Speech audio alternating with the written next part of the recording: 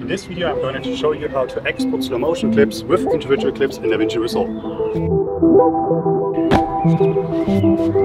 So yeah, today not a fancy studio, but also not on the rooftop because it was so windy. So we're going right into the DaVinci program where I will show you how you can use the individual clip exporting settings to create multiple stock clips and export them in one and not like in Premiere where you have to always create nest clips and then go from each to each clip. So this in DaVinci with individual clip exporting settings are pretty good. But if you have slow motion, you need to do some hacks there. Make sure that you do the right settings, that you not mess up all this and your slow motion clip is not slow motion.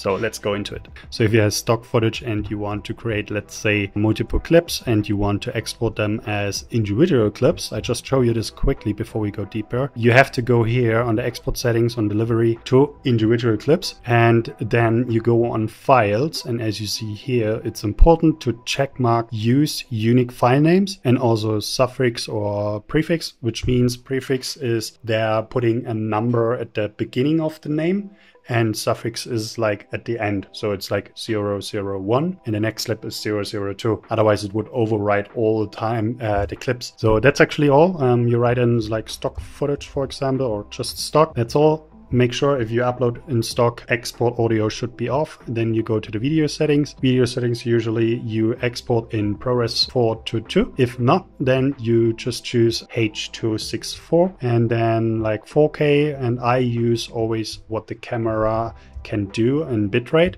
which is for the Sony A1 is 100 mbit, which are like 130,000 kilobits. Then I leave it on audio and that's how I export. If I would click now on export, so it says here 72 clips will be exported. So that's actually all. That's pretty cool, right? But a main problem is if you film footage in slow motion, but your camera is not creating automatically slow motion clips for 30 frames or 24 frames timeline. So you have to do a little hack here. So now we're going to the editing page. I have uh, other project here. As you saw the intro, when I was jumping, I recorded this in like 30 frames with the normal torque. So this is a clip here which my camera filmed in 120 frames per second but converted in 30 frames this is the 30 frames in normal. And then I have another one which I filmed here with 120 frames per second. So if I move this in now in my 30 frames timeline, what it does, it's like in real time. So one thing you can do is change clip speed. So we're doing this with pressing R in DaVinci and then you type in for 120 frames per second clip, slowing down to a 30 frames per second timeline. I'm used usually a calculator on zapstudio.net. So then you type in your frame rate from your clip, which is 119.88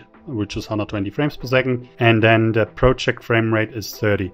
So it says me I need to slow it down 25% to have it very smooth. So I press R for changing the speed, then type in 20%, and then make sure you press or tick ripple timeline. What it does is it's expand the clip in your timeline. So if you press change, now you have a super slow motion clip from the jumping part at the beginning.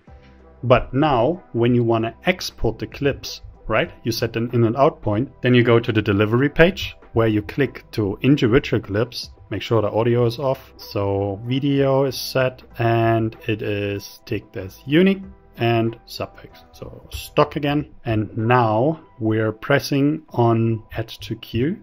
So there are three clips, right? So once we're exporting these clips, you will see there's one clip in slow motion, yes, the other one is in real time. And the one we just changed the speed, what you see right now, is not in slow motion. I don't know why this is in DaVinci. It's not recognizing it as a speed clip. So actually there are two options what you can do. Like option one is change the clip attribute from your clip. So you're going from 120 frames per second to straight away to 30 frames per second. So you can drag and drop it to your timeline and then you have straight away a 120 frames slow motion clip. Option two is you create compound clip so that it goes into a, like a little nest, what you know maybe from Premiere Pro or in general, this is what you can do here with your color grading. If you have some effects, layers, mask or anything on it, you always need to make sure that you put it in a compound clip.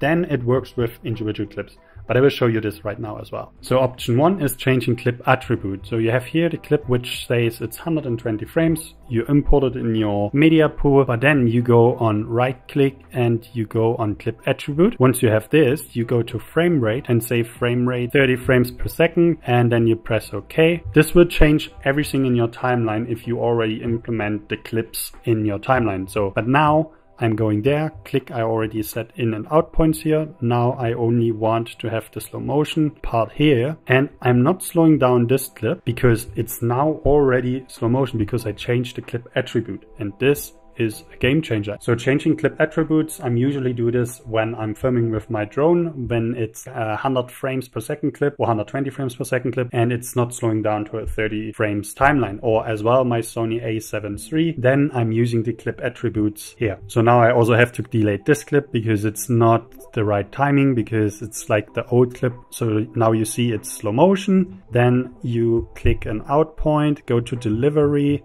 do the same, call it stock 2, export again. So now you see this clip is also in slow motion without creating a compound clip, only with changing the clip attributes. Option 2 is creating compound clip. So it's special if you're creating speed ramps, you have to do compound clip. There's no other way around. So if you have a clip, a stock clip, which is fast, slow, fast, then you have to create a compound clip, which I will show you right now as well. So you have slow down this clip, right? It's slow motion.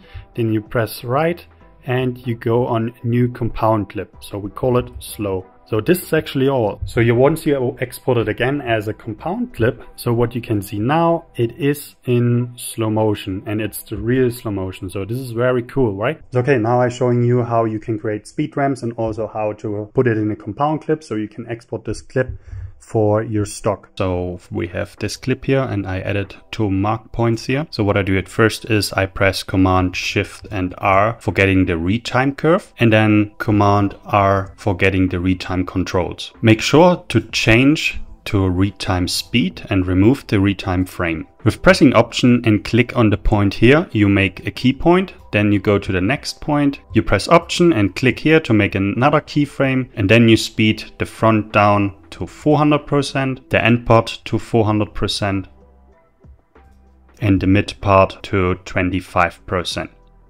To smoothen the keyframe, you click on this little point and click this button here, which created then a better key point and smoothen everything out and it's not so harsh from the speed. As you can see now, it goes from fast, slow to fast, very smooth. You can also speed up the front and the end part to 800 to make it even faster. And that's actually all. Once you're done with your speed ramp, you right click on the clip, then create a new compound clip, say create, set an in and out point, go to the delivery page, and you let's say you create individual clips and then you export and the clip will be smooth and you have a nice slow motion part and also the speed ramp works very well with multiple clips in your timeline. So a little summary, what you want to do if you film slow motion clips with your camera, but your camera is not creating automatically 30 frames or 24 frames timeline for this clip. What you have to do then in your editing program in DaVinci Resolve, for example, you have option one, changing the clip attributes from 120 frames per second to 30 frames per second. Option two is if you import the clip in the timeline and then you change the speed and then you have to create compound clip. When you do speed ramps, always do compound clip. It's better and you can also render in place. So it will definitely help to not make any changes in the timing or your speed ramp is not working. So that's the best solution to create a bunch of clips in one timeline with real time slow motion or speed ramps and then export 100 clips out in once without creating a couple nest clips, compound clips or whatever. It's only if you create speed ramps or you're not doing this clip attribute. I'm usually not doing anything of that because my camera can convert straight away to a 30 frames timeline. That's that's the best way. Once again, the summary for the export settings is make sure you have for stock no audio. Second, you go to individual clips. Third, you choose use unique file names and then choose the pre and the suffix, one of them. And then you export and then you're happy. And make sure you have the right settings for the bit rates and everything so your footage looks nice. I also link down below the zapstudio.net where you can calculate the clip frame rate to your timeline frame rate and you see how much percentage it is to slow down the clip. So now you know how to export multiple slow motion clips with the individual clips in DaVinci Resolve and not seeing the slow motion footage as like a real time, literally as a slow motion. And yeah, if you like this video and subscribe to my YouTube channel, that means a lot. And then see you in the next video. Yeah. Thank you.